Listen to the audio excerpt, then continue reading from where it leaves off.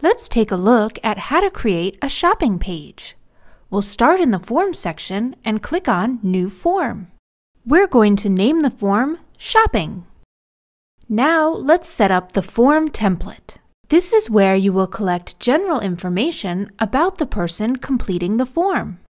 The form automatically asks for the name, email, and phone. We also want to collect the address, so we'll add that field by clicking on Add Field. We'll put address in the description and select the address field. We need this information, so we'll make it required. To save the changes we just made, we'll need to click on Save Template and continue to Items. Next, we'll add the items. We'll give this item a name and description. We're going to charge for this t-shirt, so we'll make the item type fixed price good slash service. Then we'll add the price and handling fee. We don't want to override the tax rate, so we'll leave that blank. We've got 30 shirts available. We don't need to limit the number that can be purchased per person, so we'll leave that blank. The shirt is for members of our soccer team, so we'll make this item available only to team members. Once they've purchased the shirt, we'll remove the Need Uniform label from their account. Next, we're going to add images of the item. The first image will be the main one for the item. The Options tab lets you give different options and quantities for those options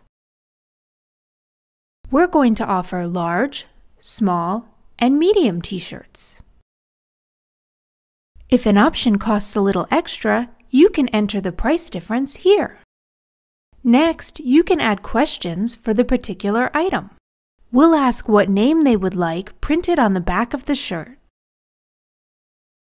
Now we can create a custom item-specific receipt to be emailed to the purchaser.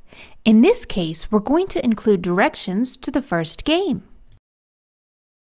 Once you're done, you can save the item. When all of your items have been created, we're going to proceed to the form settings. Here, we're going to set up our Shipping Manager email to be notified whenever someone checks out.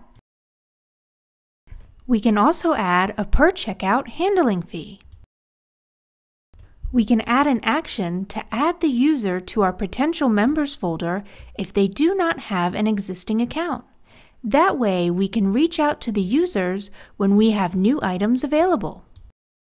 Finally, let's click to the dashboard and then click on the Embed slash Link button. That gives us the shortcode to create our new shopping cart page. Here's how our new page looks.